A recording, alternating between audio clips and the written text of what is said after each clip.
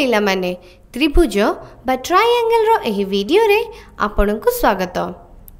ପୂର୍ବ ଭିଡ଼ିଓରେ ଆମେ ତ୍ରିଭୁଜର ସର୍ବସମ୍ମତା ସ୍ୱୀକାର୍ଯ୍ୟମାନଙ୍କ ମଧ୍ୟରୁ କୋଣ ବାହୁ କୋଣ ସ୍ୱୀକାର୍ଯ୍ୟ ନିୟମ ଉପରେ ଆଲୋଚନା କରିଥିଲେ।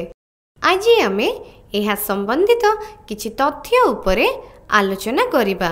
ଏଠାରେ ଦୁଇଟି ତ୍ରିଭୁଜ ଦିଆଯାଇଛି ଏକ୍ସ ୱାଇ ଜେଡ୍ ଓ ଡିଇ ଏଫ୍ର ଆକୃତି ଧ୍ୟାନରେ ଦେଖିକରି କୁହ ଯେ ଏହି ଦୁଇ ତ୍ରିଭୁଜ ସର୍ବସମ ଅଟନ୍ତି କି ନାହିଁ ଏହି ଦୁଇ ତ୍ରିଭୁଜରେ କୋଣ ଏକ୍ସ ଏବଂ କୋଣ ଡି ସମାନ ଅଟେ କୋଣ ୱାଇ ଏବଂ କୋଣ ଇ ସମାନ ଅଟେ ଏବଂ ବାହୁ ଡି ଏଫ୍ ଓ ବାହୁ ଏକ୍ସ ଜେଡ୍ ମଧ୍ୟ ସମାନ ଅଟେ ତେବେ କ'ଣ ଏହି ତ୍ରିଭୁଜ କୋଣ ବାହୁ କୋଣ ବା ଏ ଏସ୍ ଏ ସର୍ବସମତା ନିୟମ ଅନୁସାରେ ସର୍ବସମ ଅଟେ ନା ଯଦିଓ ଏମାନଙ୍କର ଦୁଇ କୋଣ ଏବଂ ଏକ ବାହୁ ସମାନ ଅଛନ୍ତି କିନ୍ତୁ ଏ ଏସ୍ ଏ ବା କୋ ବା କୋ ସର୍ବସମତା ନିୟମ ଅନୁସାରେ ଯେବେ ଦୁଇ ତ୍ରିଭୁଜର ଦୁଇ କୋଣ ଏବଂ ତାଙ୍କର ଅନ୍ତର୍ଗତ ବାହୁ ବା ଏହି ଦୁଇ କୋଣର ମଝି ବାହୁ ସମାନ ହେବ ତେବେ ସେ ତ୍ରିଭୁଜ ସର୍ବସମ ହେବ।